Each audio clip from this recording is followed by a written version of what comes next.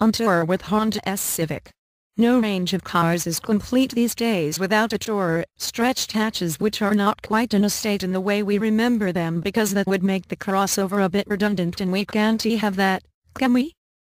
Estate cars existed largely out of business need, a car which had the seats but also capacity to fold them away and load up with boxes of samples for the burgeoning door-to-door -door trade of days gone by. The Britannica years. Tourers, by the same measure, I presume to be for touring and should you find yourself behind the wheel of one I suggest that that's what you do. Head to the hills and after enjoying the breathtaking countryside which sets our land apart dodge the confused sheep high on grass and being held up by packs of cyclists get to know the locals over a pub lunch. Well not exactly get to know them, more earwig gossip. Some of the funniest one-liners ever heard have come from customers in pubs soda for me and before you say anything you would be on water if you had what I have. What is that? 50p. Or possibly the best ever, come on, time for bed, Yuri staggering. Yuri not bad looking yourself landlord. So when a Honda Civic 1.6 Tech Senior landed no time was wasted packing the dog in stormproof gear before heading for the hills. Which is how we came to be listening to Men in Black High in the Yorkshire Dales. Serious do. I. Many there. I. How old were he? No age? Just turned 93. Hell of a shock. His mate was there with that wife he got off the internet.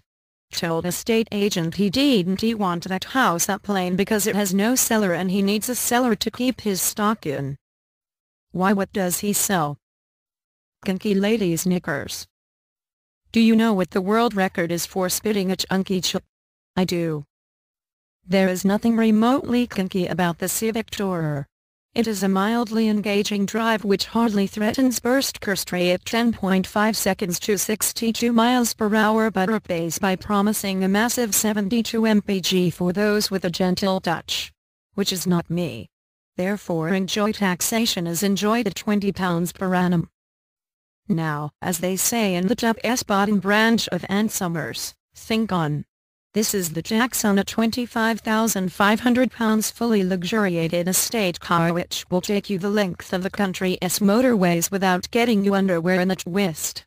It has not been denied all its cylinders, there is no hybridization it is quite simply a well-engineered 1.6 diesel which performs smoothly and produces little noise unless it is really being worked hard.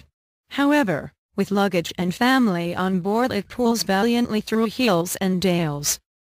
The ride is comfortable in the main, senior models come with a 3-mode shock absorber setting which you does have an effective ride and handling.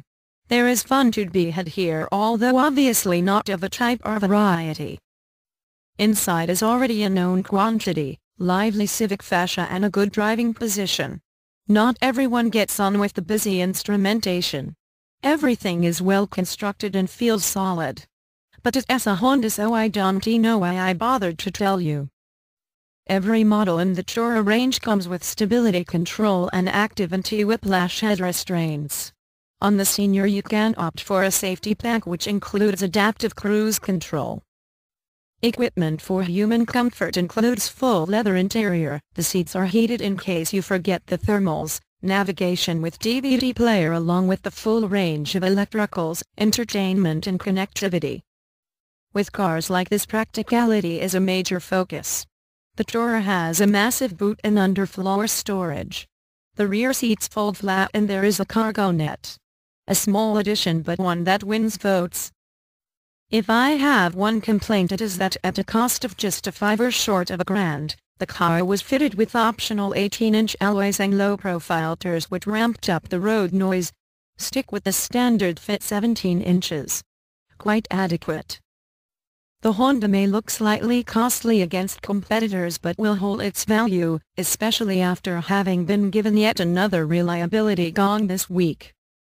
So, if your desire is to visit the best of our countryside to take in the views or whatever is currently fashionable in rural saucy foundation garments the Civic Tourer fits the bill. Sorry, not available in pink. and about time too. This week I watched a plant bot who had driven into a pinch point on a canal bridge to find a car already on the bridge in the opposite direction, refused to even acknowledge the existence of the FIS draft of the highway code.